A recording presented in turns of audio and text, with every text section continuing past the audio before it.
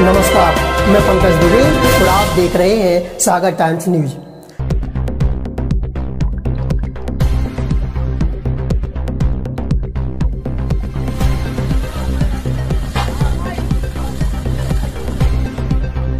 नमस्कार, मैं पंकज दुबे और आप देख रहे हैं सागर टाइम्स ये जो तस्वीर है आपके सामने देख रहे हैं आप, ये बड़े हादसे की तस्वीरें हैं। जी हाँ बड़ा रेल हादसा मध्य प्रदेश के शहडोल ज़िले से सामने आया है। जी हाँ शहडोल में भीषण रेल हादसा पहले से खड़ी मालगाड़ी से दूसरी ट्रेन टकराई है, तीसरी भी चपेट में आई और लोको पायलट सहित दो लोगों की मौत की खबर है। मध्य प्रदेश के शहडोल से ये खबर सामने आ रही है, जहाँ पर भीषण रेल सड़क दुर्घटना हुई है।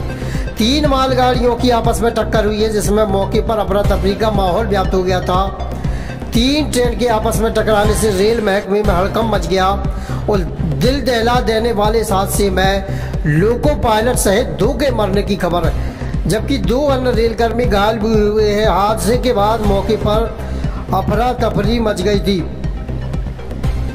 मौके पर तैनात कर्मचारियों को शुरुआत में कुछ समझ में नहीं आया कि अचानक यह हो कैसे गया, लेकिन प्रारंभिक रिपोर्ट में ड्राइवर द्वारा सिग्नल ओवरशूट करने की वजह से हादसा होने की बात सामने आई है। लेकिन ये प्राथमिक तौर पर बात सामने आई है।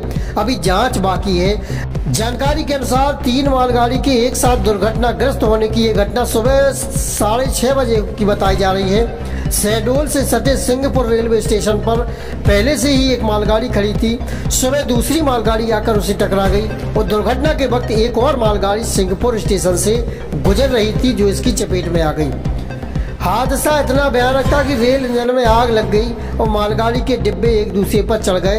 हादसे के कारण इस रेलखंड पर ट्रेनों का आवागमन भी बाधित हुआ है। बताया जा रहा है कि इस भीषण रेल हादसे में एक लोको पायलट की मौत हुई है, जबकि दो अन्य रेल कर्मचारी भी घायल हुए हैं, लेकिन बड़ा हादसा है।